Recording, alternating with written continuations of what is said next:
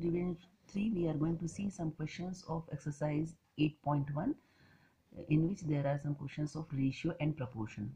The first question is find the value of x. Here one proportion has been given to us in which one of the number is missing and that is x and we have to find out the value of x. If these four numbers are in proportion, then we can write product of extremes. That means the numbers which are in the corners, they are the extremes and the numbers which are here in the middle are the means. So product of extremes equals to product of means. So x into 84 equals to 25 into 78 which gives us x equals to 25 into 78 upon 84. By solving it we are getting x equals to 325 upon 14 which gives us 23.21. Now the next question for this question is 4 is to x proportionate to 12 is to 48. Again the same formula we are applying product of extremes equals to product of means.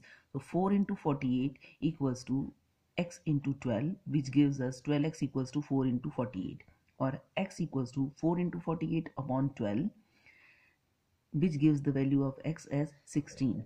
The next is a word problem. Mani's car travels 150 kilometers in 4 hours. At this rate, how far will the car travel in 6 hours? We can solve this question by unitary method also and by the method of proportion also.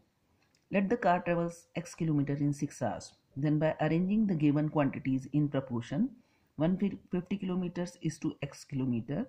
Now for 150 kilometers, he takes 4 hours and for x kilometers he takes 6 hours. So which gives us 150 is to x proportionate to 4 is to 6 product of extremes 150 into 6 equals to product of means that means 4 into x which gives us x equals to 150 into 6 whole upon 4 which gives the value of x as 225 kilometers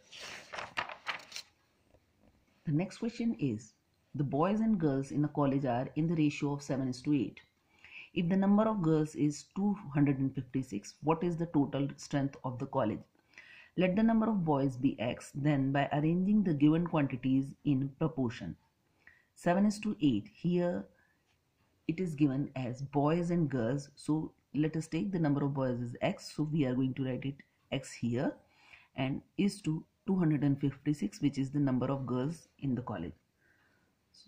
So 7 into 256 will be equal to 8 into x which gives x equals to 7 into 256 upon 8.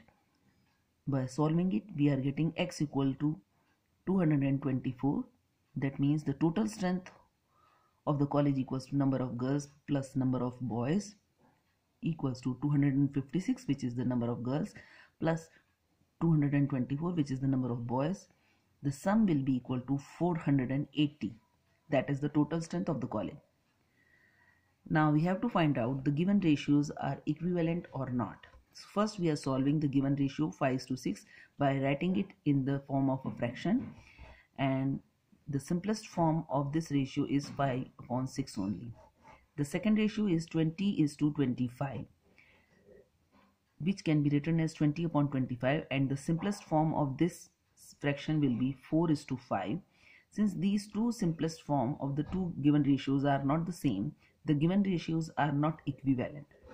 Another example 2 is to 4 and 15 is to 30 2 is to 4 can be written as 2 upon 4 which gives us the simplest form as 1 upon 2 and 15 is to 30 can be written as 15 upon 30 equals to 1 upon 2 since the simplest form of the given ratios are the same, the given ratios are equivalent.